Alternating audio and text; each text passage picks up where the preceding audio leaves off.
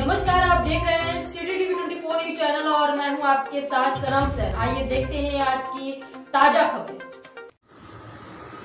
जमकर चले लाठी डंडे, एक की मौत, पुलिस बल तैनात। बता दें कि सुल्तानपुर में दलित और क्षत्रिय समुदाय के बीच जमकर लाठी डंडे से मारपीट हुई है। एक की मौत हो गई, कई घायल हो गए। हैं लंबुआ कोतवाली क्षेत्र के अंतर्गत शिवगढ़ बाज़ार के निकट स्थित चौदवा गाँव का मामला जानकारी के मुताबिक क्षत्रिय और दलित बिरादरी में हुआ खूनी संघर्ष, धारदार हथियार और लाठी डंडों से किया गया वार। फायरिंग की भी मिल रही है जानकारी।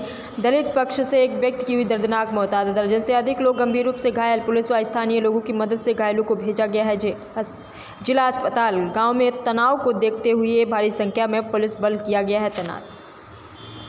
सुल्तानपुर से संजय तिवारी की खास रिपोर्ट।